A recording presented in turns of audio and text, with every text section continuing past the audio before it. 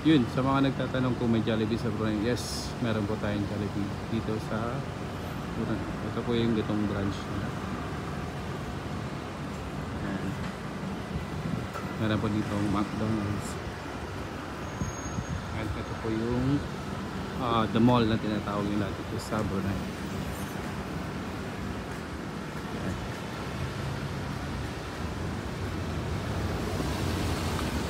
So, yun. The mall. Ayan.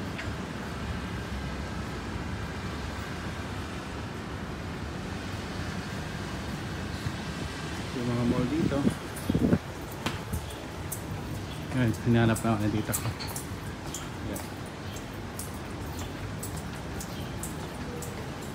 Pizza Hut.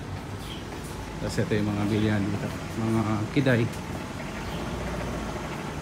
Mga bilihan ng mga kung ito marami sa Pilipinas. Uh, chicharon. Keropok tawag.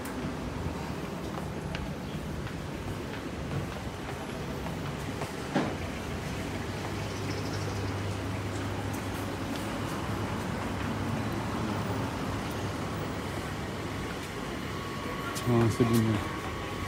Mga souvenirs.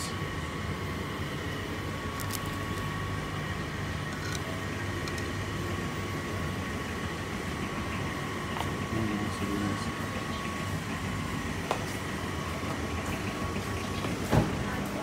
Tingnan tayo mga presyo.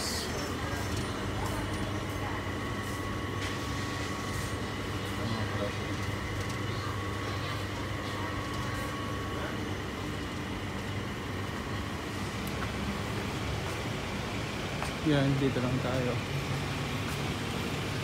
Pasyal-pasyal.